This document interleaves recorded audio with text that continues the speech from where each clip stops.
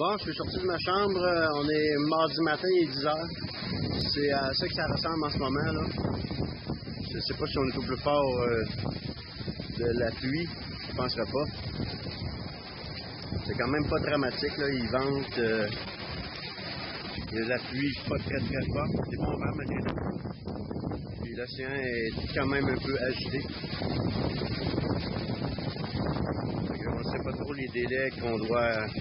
En principe, on doit rester dans notre chambre. J'ai sorti euh, pour aller. Je suis sorti pour aller faire une petite vidéo et aller au labé pour euh, tenter d'avoir accès à l'Internet pour donner des nouvelles à, à nos proches. Fait que euh, en ce mardi matin, 10 h c'est à ça que ça ressemble en ce moment. Il semblerait que tranquillement l'ouragan dépointe.